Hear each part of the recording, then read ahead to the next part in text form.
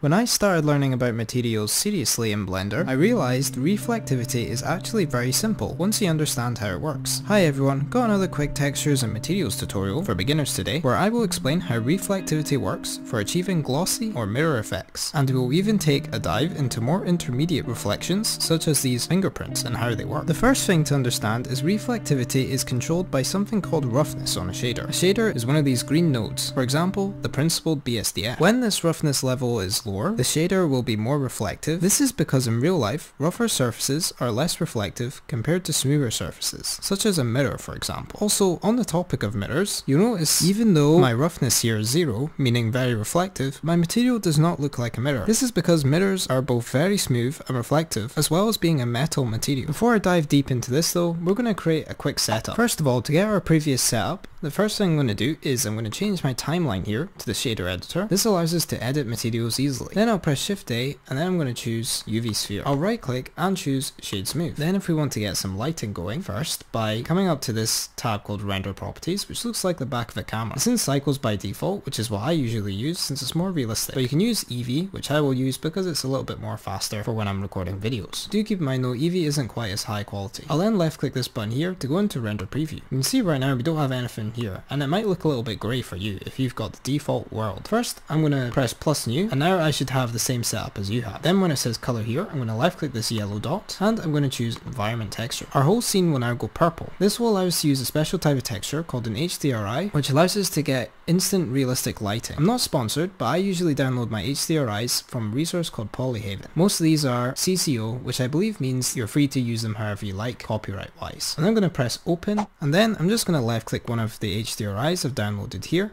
this will either be an HDR or an EXR file, and then I can left click open image. Now you can see we've got some realistic lighting set up. I can then left click my object here, and I can just press this plus new, and this will add a new material. You can also edit your material by left clicking this red and black checkered ball here. I'm going to give my material a name, and I'm just going to call this mirror. I'll zoom in, and as we mentioned earlier, the roughness will control the reflectivity, and since mirrors are super reflective, I'll give this a roughness of zero. You can see now we've got a really reflective non-metal. This would be good for something such as a really smooth floor or something like that. Then I can just go ahead and leave my base color in white and change my metallic value to 1. And now you can see it looks much more like a mirror. One important thing I always stress in my videos is that the metallic should only be 0 or 1 as you can't get a material that's halfway between a metal and non-metal in real life. So always keep this parameter at either 0 or 1. You also might be wondering why metals look different. This is because metals have no diffusion whereas non-metals have it. This diffusion mixes in color from the surrounding light and since metals don't take in the color from this light is pretty much just pure reflection. You also notice that a white metal in this shader will have a greyish appearance, which is normal. I'm also going to quickly set up my non-metal just for some more explanations here. So I'll left click my UV sphere, press shift D, and that's going to duplicate this object. I'll then right click and that will return it to its default position. Then I can press G, which will enable grab mode, which allows you to move an object, and I can choose Y, and you can see it's now going to lock the Y axis, which is this green line here. Then in order to duplicate a material, you can just left click this button here, and you can see it's now called called mirror.001. I'm just going to call this non-metal. And I'm going to turn the metallic back down to zero. Now you can see we have a reflective non-metal as well. Another thing I want to touch on is how color affects reflections. For non-metals, as the color gets darker, the reflections get stronger. This is why black non-metals can almost look like metallic materials even though they're not metal. Also, for metals, if I give this a really high roughness of something like 1, you'll notice it almost looks more like a non-metal, even though it is still metal. Complex reflections. We can also use black and white textures to create more complex reflections. This works since shades between white and black can be represented with a number between 0 and 1. Why is this relevant? Well, you can notice the roughness parameter is a number, and when you slide it, it goes between 0 and 1. Notice how if I turn this all the way up, I can't go any higher than 1. To get started, I'm going to press Shift A, and under texture, usually I would choose a Musgrave texture. But in version Blender 4.1, this texture no longer exists. So if you're using Blender 4.1, you can just add a noise texture instead. If you've added a Musgrave texture, you can go ahead and plug the gray socket straight into the surface. For us noise texture people, using Blender 4.1, we will do the same. So I'll plug this factor into the surface. You can see this is what our texture looks like. And in order to get it to look like the Musgrave texture from older Blender versions, I'm going to change it from FBM to Hybrid Multifractal. And there we go. That's looking much more like the old Musgrave texture. You can see these splotches here could work well as some good procedural fingerprints without having to use any realistic fingerprint textures. So of course, you can use these if you like, like I used in my recent bronze material tutorial. I'm also going to press Shift A and under input, I'm going to choose texture coordinates and I'm going to plug in my object to the vector. This now makes it so the noise texture is, or Musgrave texture is placed on the object evenly. I'll turn down my scale to maybe something like 2.5. Mm, maybe that's a little too small, so I'll maybe put it to something like 3. Much better. You can see this texture is made up of shades between black and white. And there's a really handy way of figuring out which areas are going to be rough and which are going to be reflective if I was to plug this factor into the roughness. You can think of it this way. When it's black, the lights are off, so you can think of that as 0. Whereas white, the lights are on, so you could think of it as 1. That's one way I like to remember this. But if you don't like using analogies, you can just remember that 1 is represented with white and black is represented with 0. With that knowledge, I want you to try and have a guess which areas will be reflective and which areas will be rough if I plug this noise texture into the roughness. If you guess that the black areas will be really reflective and the white areas will be rough, you would be correct. Let's plug it into the roughness to see our result. And I'll plug the BSDF back into the surface as well. You can see if I rotate around my ball now, we've got splotches here which are much more rough and splotches which are much more reflective. We can of course do this for our metal material as well. If you want a quick way to do that, all you would need to do is left click and drag to select these nodes. Then you could just right click and choose copy or you can press Ctrl C, though sometimes I feel like this hotkey doesn't register properly. Then I'm going to left click this metal ball here, press Ctrl V to paste and I'll left click and drag the factor into the roughness. You can see on the metal is much more noticeable our changes. If this is a little bit too intense for your liking, we can use another node to decrease the contrast. I'll left click and box like these two nodes and just drag them along. Now you can see we've got loads of space between our noise texture and our principled BSDF shader. I then press Shift A and then under converter, I'm going to choose color ramp. Now plug that in between the noise texture and the principled BSDF. You can see now I've got some dials here and when I move them, you can see it makes adjustments to the texture. This isn't what I want to do though because I like having that nice smooth transition. So I'll press Ctrl Z to undo that change.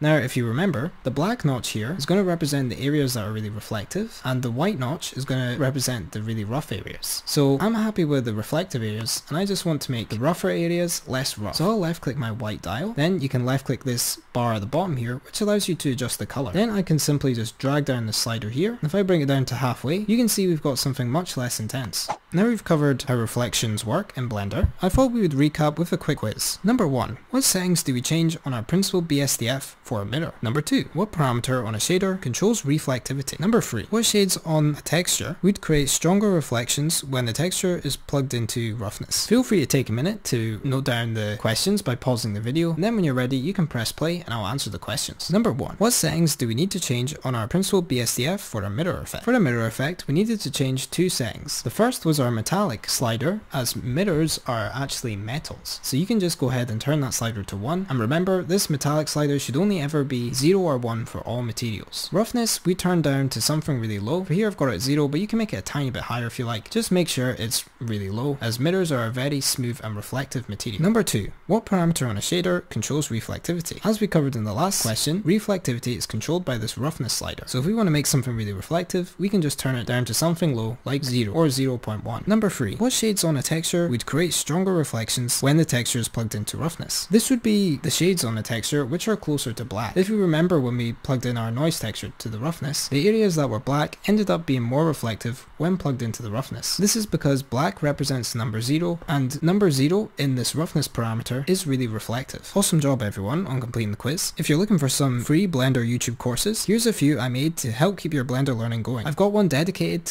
to mastering textures, so this can be a great carry on for this tutorial. Thank you for watching and take care.